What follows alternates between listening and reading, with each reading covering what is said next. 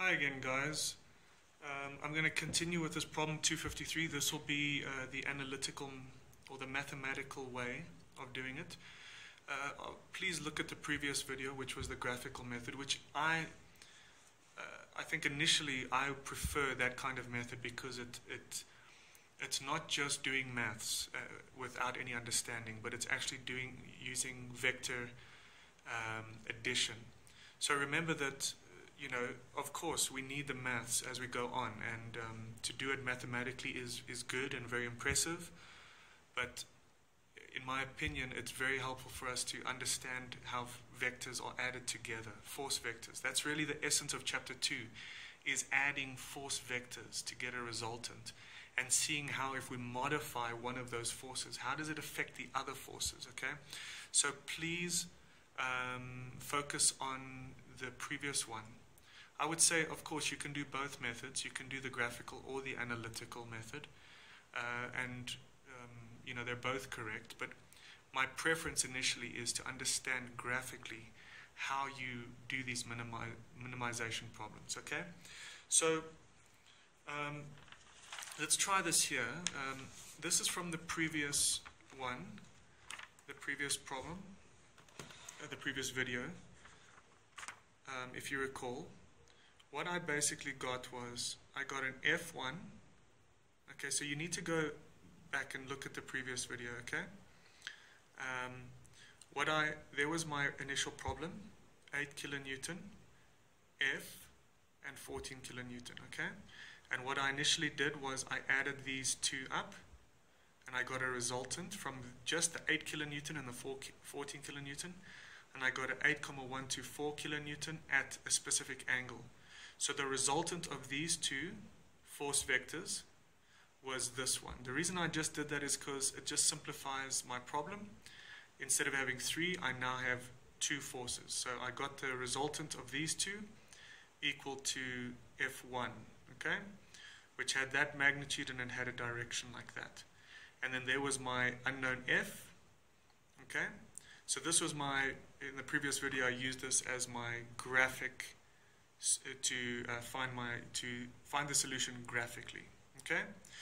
Then we had f1 using uh, vector addition. We had f1 and we had f giving us fr, which is based on this here. The resultant force is equal to the sum of the forces. Resultant vector, force vector is equal to the is equal to the sum of the force vectors. Okay, so that that's what we had there. Okay. So this is also initially how I would go about to do the, the analytical one is I would um, I would get it into this form. I'm going to maybe I'll show you two different methods, but this is using just the parallelogram method. I got that F1 and I got F, and now I finally have this this triangle here. Remember that this angle was 59,5, that angle was 30,5, and that was 45, 45 degrees. So when you look at this triangle, right, which, I, which I've now obtained, what, what do you see here? What, well, what we see is we've got, um, we've got, we've got F1 here, which we know. We've got F, which we know the angle of, but not the magnitude and we've also got FR, right, which we don't know anything about. Okay? Remember, this 59 is not it's not between those two lines. It's that's this is the angle between that force vector and the horizontal axis. Okay.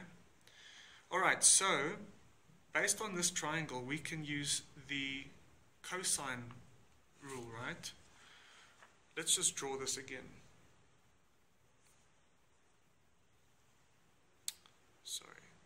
Drawing there. Okay, and we've got our FR. There's my FR, there's my F1, and that is my F, and that's my F1. Okay, so we know what this angle is here. This angle is equal to 75,5 degrees. Okay, again, uh, just please go and watch the previous video, then this will make a lot more sense to you. Okay, but let me first do it this way, and then I'll, I'll do even a second analytical way. Okay? So what do we have here? if we want to know what is FR, we can use the cosine law or rule or whatever it's called. FR, the magnitude of FR squared, is equal to what? What does the cosine rule say? This squared is equal to F1 squared, the magnitude of F1 squared, plus the magnitude of F squared, right?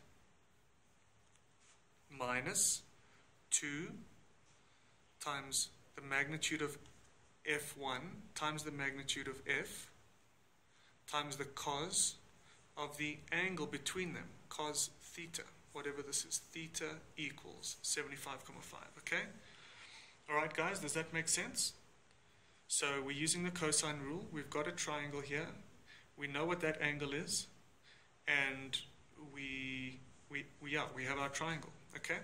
So FR squared, let's just put in some numbers now, is equal to F1 squared, which is 8,124 squared plus f squared, we don't know what is f, minus 2 times 8,124 times f times cos 75,5. Right? Okay, is that clear? So, so here's our equation. Let's, let's just simplify it. Fr squared is equal to, say, 8, let's leave it like this, 8, comma 1, 2, 1, 1, 2, 4 squared plus f squared. Then let's simplify this here. 2 times 8, comma 1, 2, 4 times cos 75, comma 5 is minus 4, comma 068 f. Okay? That's what we got here. So this is our governing mathematical equation. FR squared is equal to 8,124 squared plus F squared minus 4,068F. So remember guys, what are we trying to do in this problem? We are trying to minimize, we are trying to find F, the value, the magnitude of F, so that FR will be a minimum. We are trying to find the value of F, F, right? The magnitude of F, so that the, so that the magnitude of FR will be a minimum. Okay? So what do you recall from, uh, perhaps you've done it already in maths, in order for us to find a minimum, we have our equation here. We need to calculate the first derivative and set it equal to 0. So what is our first derivative? Our first derivative here would be, oh dear, the lights went out. Okay, but you can still see. The first derivative here would be 2fr, okay, df r df. Now what does this mean? Uh, this this over here because we have the we're is this called um, implicit differentiation okay? So because we've got the square here we first need to multiply 2fr okay? Then we have or is it the chain rule? It's the chain rule sorry I'm not a maths teacher but I know how to do it okay um, so 2fr Perhaps go ask your math teacher how this works. 2FR. Then we have DFR, DF. So we are seeing how does FR change with respect to F? Right? How if we if we change F, how does FR change? If we change F, how does FR change? So DFR, DF. Then on the right hand side, remember we are we are differentiating this with respect to F. So this is a constant, so that becomes 0. Again, this becomes 2f. That becomes 2f. Minus, right, 4.068. Okay? So if we differentiate this with respect to f, we get just the constant value. All right? So so what we, and then we need to set this equal to zero, right? Because we take the first derivative of fr with respect to f and we set it equal to zero. If you recall, if you have some kind of function, right, where is the derivative uh, equal to zero? It's at these turning points, right? So here your d, your dfr, so to speak, d, df will equal zero, right? If this is your function fr as a function of f, then at the turning point we have a zero. And what is the turning point? The turning point is a maximum. Or we have a minimum here, right? That's also dfr df equal to zero. So wherever we have a turning point, we have a maximum or a minimum. And what a turning point tells us is that the, the gradient or the slope, which is the first derivative, is equal to zero. All right? So now we have this. We have 2 times fr times dfr df equal to 2f minus 4,068. And this equals 0. So can you see this equals 0? This equals 0. So what we have here is 2f minus 4,068 equals 0. Okay, and if we rearrange, we get 2f equals 4,068 and f then equals 2,03 approximately kilonewton. Okay? And that is exactly what we got for the previous problem. F, the magnitude of F, is 2,03. Okay? Let's just make this consistent. Mm, the magnitude of the force. Okay? Then all we need to do, now that we've got that, all we need to do is go plug it back into this equation. We plug this back into this equation and we should get magnitude of FR 7,865 kilonewton. Okay? So that is the one way of, of doing it analytically. Um, please look at the previous video to see how I found F1 and then also F and how I constructed this triangle. Okay. A, a second method, let's, let's, just, let's just do this, okay? I'm going to redraw this. Second analytical method. That's 8 kilonewton. I'm just going to draw this F down here. Just makes a bit more sense. That is 45 and we had our 14 going up like that. Okay? This is another method now. I mean, it's still really the same, but it's just a different way of looking at it. Okay?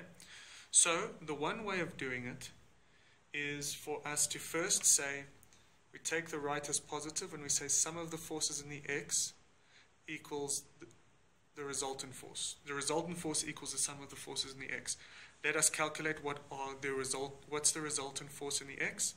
We have 8 minus, this is uh, 30, minus 14 cos, and I'm leaving out the kilonewton here, right? Because we, we're just, we're working in kilonewton. I'll put it back later.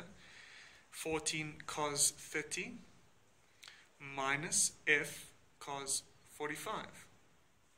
So that is um, sorry, sum of the forces in the x is equal to the resultant force in the x.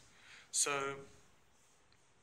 so the resultant force in the x is equal to 8 minus 14 comma 8 minus 14 cos 30 is minus 4 comma 124 kilonewton, right? Okay, you got that? Um, minus f cos 45. So that is my resultant force in the x. As you can see, it's my resultant force in the x is a function of f. We don't know what f is.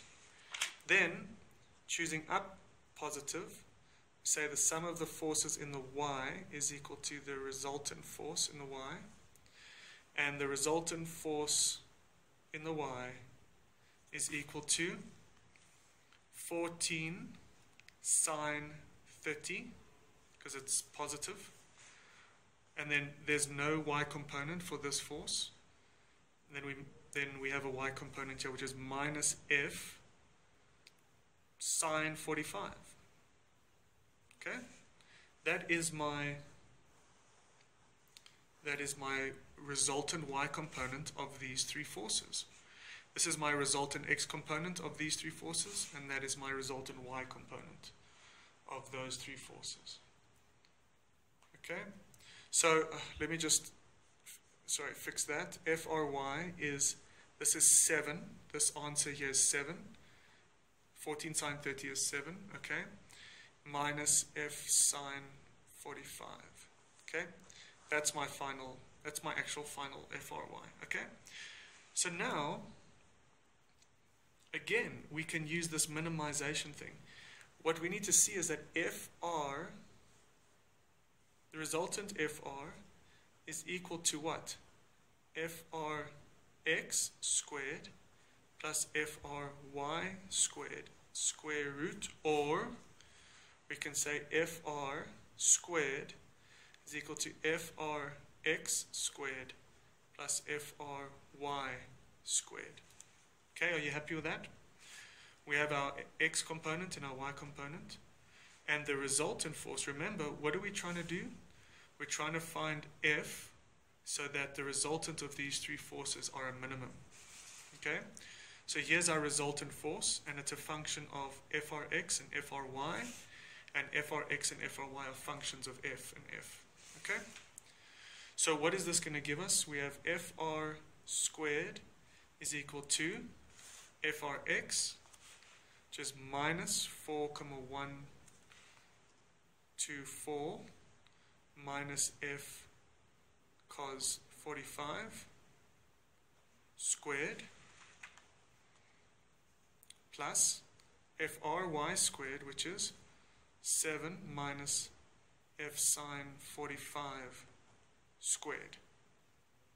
Okay, is that correct? Yes. 7 minus f 45 squared. Okay, so now this is, again, we've got a governing equation. Right? We've got fr as a function of f. Now again, we, we take the first derivative of our function and we set it equal to 0.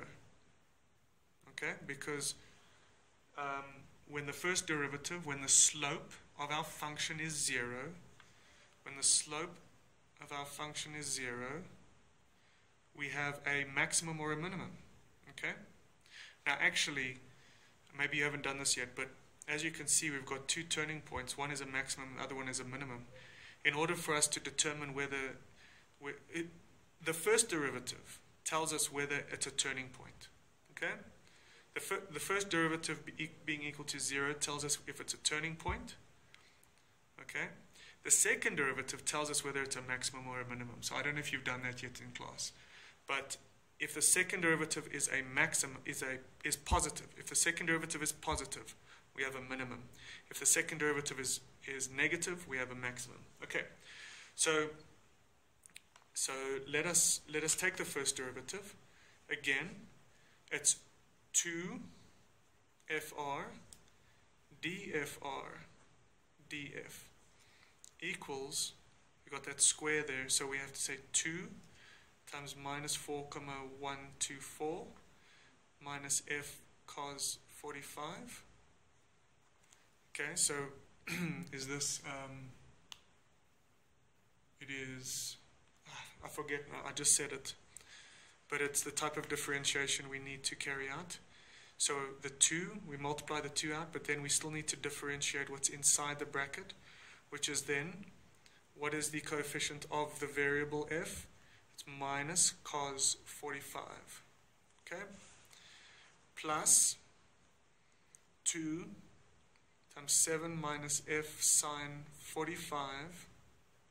Then we, we still need to differentiate the um, the coefficient, or, we need to differentiate this f still, which then is minus sine 45.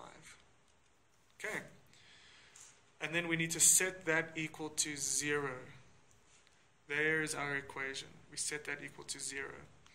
So this, we set that equal to 0. This is all equal to 0. Then, right, as you can see, we got, we got this equation. We can just divide by 2 because 0 divided by 2. We have a 0 on the right-hand side. So if we, if we multiply this out, we should end up with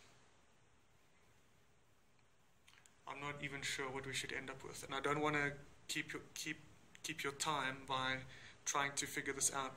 But if you solve this equation again, you should get F equals 2.03 kilonewton and F magnitude and FR. You take that 2.3 and you plug it back into this equation and you should get FR. 7,86 5. Okay? Okay, guys, so I hope um, these two videos have helped. Please look at both the graphic and the analytical and compare and have a deep understanding. Okay, cheers.